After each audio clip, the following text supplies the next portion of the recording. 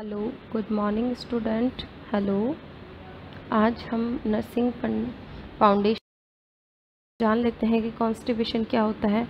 Constipation जो होता है, वो स्टूल का मूवमेंट लार्ज इंटेस्टाइन से बहुत ज़्यादा स्लोली होता है।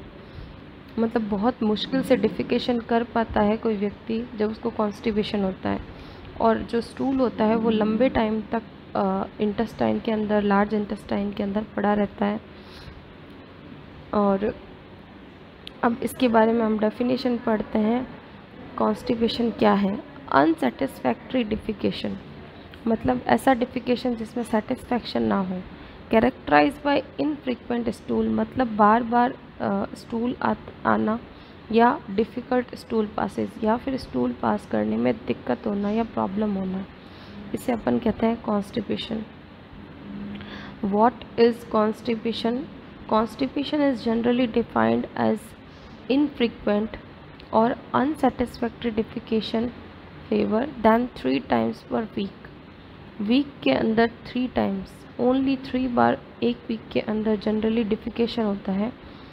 तो वो कॉन्स्टिपेशन की कंडीशन होती है। या पेशेंट में define constipation as passing hard stool और स्टार्टिंग इनकम्प्लीट और पेनफुल डिफिकेशन पेशेंट क्या करता है? कॉन्स्टिपेशन को डिफाइन करता है। पासिंग हार्ड स्टूल स्टूल होता है, वो बहुत ज़्यादा हार्ड होता है, स्ट्रेनिंग होती है। इनकम्प्लीट और पेनफुल डिफिकेशन होता है। Constipation is a symptom, not a disease. Constipation एक टाइप का सिम्टम है, एक डिज़ीज़ नहीं है। कॉन्स्टिपेशन के बहुत सारे कॉज हैं और उसके बहुत सारे साइन हैं, जो कि अनडाइग्नोस्ड है। तो सबसे पहले normal colonic transient time. A meal reaches with Elio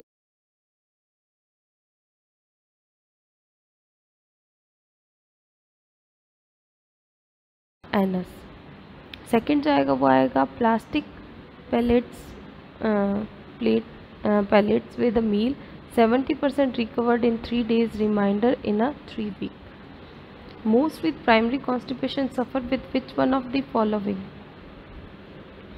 slow clonic transient time होगा तब या पेल्विक फ्लोर या एनल स्फिंक्टर डिसफंक्शन होगा तब फंक्शनल नॉर्मल ट्रांजिएंट टाइम होगा तब एंड स्फिंक्टर फ़ंक्शन होगा तब। अब सबसे पहले हम पढ़ेंगे कि कॉन्स्टिपेशन के जो कॉज होते हैं कॉन्स्टिपेशन किस कारण से हो सकता है? सबसे पहले तो इनफ्रिक्वेंट या इरेगुलर या रेस्ट्रिक्टेड डाइट होगी पेशेंट को तो हो सकता है। या फिर फ्लूड होता है, वो इनसफिशेंट ले रहा है। या फिर क्या होगा? कि एक्सरसाइज होगी, वो कम करता होगा। इमोशनली अपसेट रहता होगा, जैसे नर्वस टेंशन होगी, या चिंता होगी, या एंगर होगा, या फियर होगा, या फिर अननेचुरल पोजीशन होगी डिफिकेशन के टाइम पे, या ओवर यूज़ ऑफ़ लेग्जिटिव या फिर लेग्जिटिव का जो होगा, वो बहुत ज़्यादा यूज़ कर लेते हैं तो कॉन्स्टिपेशन की प्रॉब्लम हो सकती है। उसके बाद में हम पढ़ते हैं most with primary constipation form which one of the following सबसे पहला आएगा स्लो क्लॉनिक ट्रांजिएंट होगा। दूसरा आएगा पेल्विक फ्लोर या एनल स्पिंक्टर डिसफंक्शन होगा। तीसरा होगा functional normal transient time and sphincter function होगा। सेकेंडरी कॉन्स्टिपेशन में क्या होगा? एंडोक्राइन डिसफंक्शन की वजह से होता है सेकेंडरी कॉन्स्टिपेशन सेकेंडरी कॉन्स्टिपेशन में क्या होगा? मेटाबॉलिक डिसऑर्डर होगा, इसमें कैल्शियम का लेवल इंक्रीज होगा और पोटेशियम का लेवल डिक्रीज होगा। मैकेनिकल क्या होगा? आ,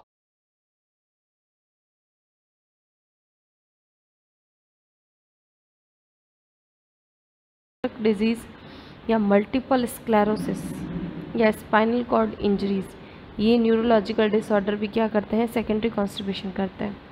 एट रिस्क ऑफ़ कॉन्स्टिपेशन में क्या होगा? लो फाइबर डाइट या मोस्ट कॉमन रिस्क होगा। लो लिक्विड यानी कि eight glasses per day in need for constipation is need for constipated second third जो होगा, वो होगा लैक ऑफ़ एक्सरसाइज यानी कि बेड रिडन पेशेंट या कॉमा वाले पेशेंट्स या इग्नोरिंग अर्ग टू डिफिकेट मतलब डिफिकेट करने की इच्छा हो रही है, लेकिन फिर भी वो डिफिकेट नहीं कर रहा है। तो कॉन्स्टिपेशन की प्रॉब्लम हो सकती है। सिस्टमिक में आएगा hypothyroidism diabetes mellitus uraemia pregnancy hypercalcaemia hypokalaemia next आएगा न्यूरोलॉजिकल डिसऑर्डर के अंदर stroke parkinsonism multiple sclerosis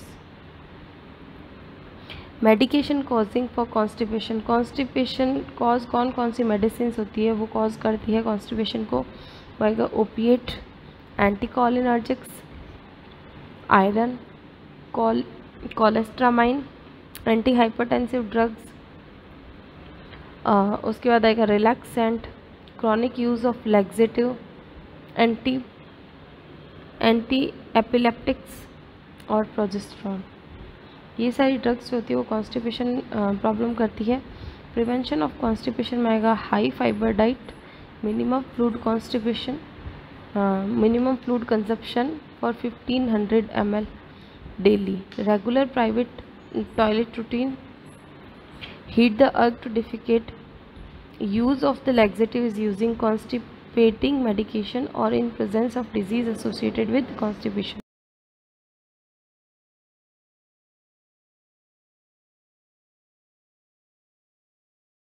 देखेंगे फ्रीक्वेंसी देखेंगे कंसिस्टेंसी देखेंगे ब्लड इन द स्टूल ये भी देखेंगे वेट लॉस हो रहा है वो देखेंगे diet exercise toilet habits laxative use other drugs इन सबसे हम डायग्नोस करेंगे कि पेशेंट को कॉन्स्टिपेशन है या नहीं।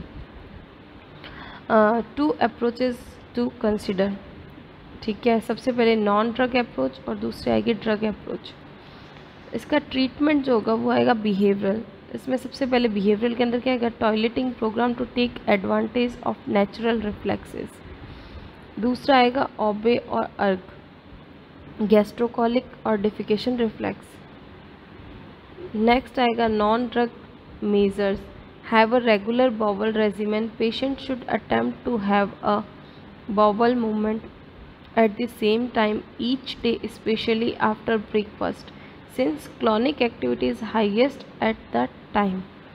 Second आएगा don't spend prolonged periods of time at the toilet.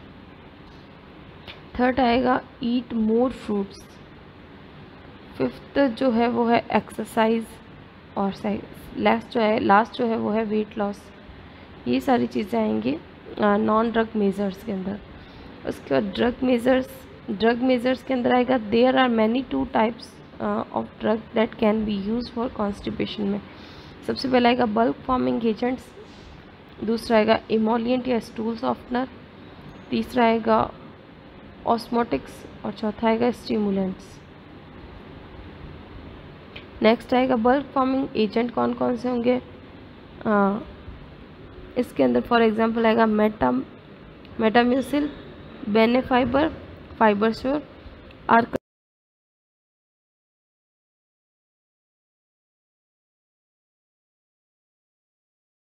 laxative should be administered with the full glass of water और जूस ये सारी जो ड्रग्स हैं या जो डोज है उसको फुल ग्लास ऑफ़ वाटर या जूस के साथ दिया जाता है। Don't use if patient is dehydrated और full fluid restricted fluid restricted patient हो या डिहाइड्रेटेड पेशेंट हो तो उसके अंदर अपन यूज़ नहीं करते हैं। नेक्स्ट आएगा are the drug of choice for prevention में not for immediate relief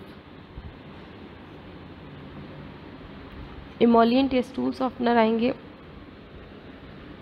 Docusate example for prevention not for immediate relief ये प्रिवेंशन के लिए है, लेकिन इमीडिएट रिलीफ के लिए नहीं है.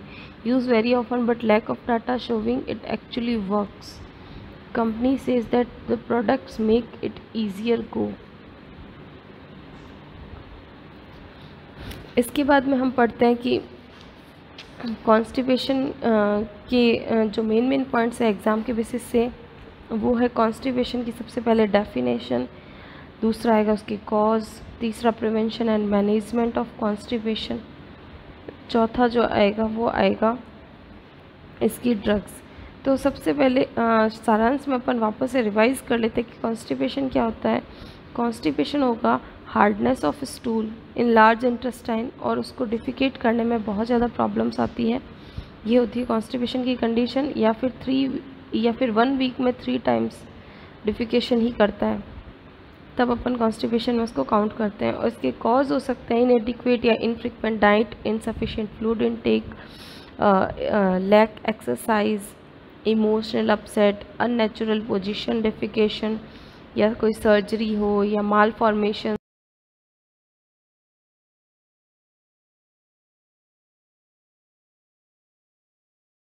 है कॉन्स्टिपेशन को और इसका प्रिवेंशन होगा। सबसे पहले पेशेंट को हेल्थ टीचिंग देंगे। दूसरा उसको एडिक्वेट इनटेक ऑफ़ डाइट देंगे। तीसरा आएगा adequate intake of roughage in diet देंगे। इस्टेब्लिशिंग ऑफ़ हैबिट पैटर्न करेंगे उसका। नेक्स्ट आएगा रिलैक्सेशन करेंगे। प्राइवेसी देंगे उसको। उसको प्रॉपर पोस्चर देंगे। एक्सरसाइज करवाएँगे। Adequate amount of fluid intake देंगे। यूज़ ऑफ़ फ्लेक्सिटिव या सपोज़ सपोजिट्रीज एंड एनिमास देंगे। ये सारे हैं कॉन्स्टिपेशन के बारे में. Thank you